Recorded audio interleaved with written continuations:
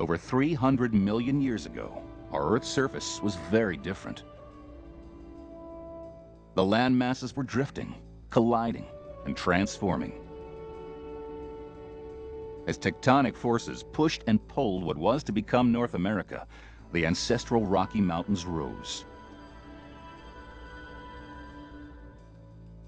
To the west of these mountains, faulting and subsidence created the Paradox Basin. Over the next 15 million years, changing sea levels filled the basin 29 times. Each time the oceans receded, salt water became trapped in the basin. The trapped water evaporated, leaving a massive deposit of salt over 5,000 feet thick. As time passed, the mountain range eroded. Vast amounts of sand, rock, and debris accumulated on top of the salt layer. Under this tremendous pressure, the softer salt beds were forced westward. When the salt encountered deep faults, it was blocked and forced upwards. Over the next 75 million years, an enormous salt wall, two miles high, three miles wide, and over 70 miles long was created. Eventually, the salt stopped flowing, and a mile-thick layer of rock was deposited over it. Then, some 60 to 70 million years ago, tectonic forces caused some of the deeper rock to bend, forming a dome.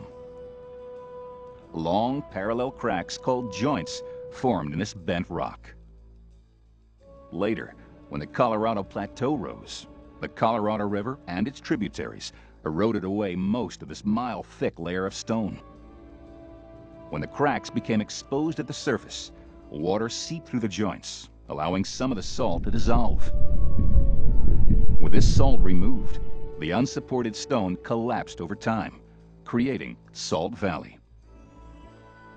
At the edges of Salt Valley, some of the remaining fractured rock layers continue to erode, forming thin sandstone walls called fins.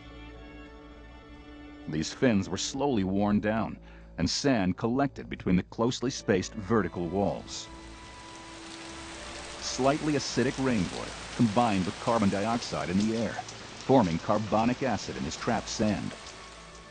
Over time, the acid dissolved the calcium carbonate that held the sandstone together, slowly wearing away the rock until openings were formed.